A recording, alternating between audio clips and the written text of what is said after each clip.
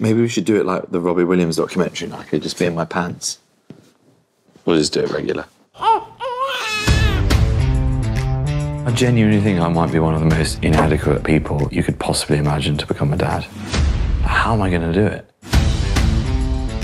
I'm just quite scared. I don't feel prepared yet because I don't know, I'm a bit of a Idiot. I was going to say dreamer. Just a suggestion. Jack, come and be useful, please. Don't get down at the business end of things. I mean, your mother had a I don't want to hear about the Oh. business end of things when my mother was giving birth to me.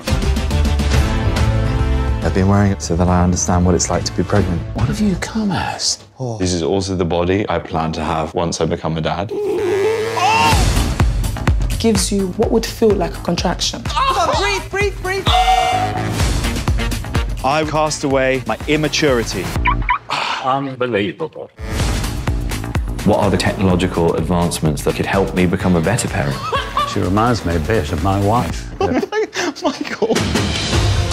I'm going to emerge from this experience as a new man. oh, Daddy, please help me. Hilary, get it out! I feel like a sausage in a skin here.